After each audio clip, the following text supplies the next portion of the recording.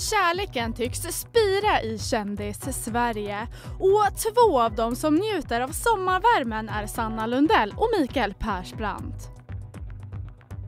I ett blogginlägg berättar Sanna om den barnfria semestern som verkligen tycks vara underbar.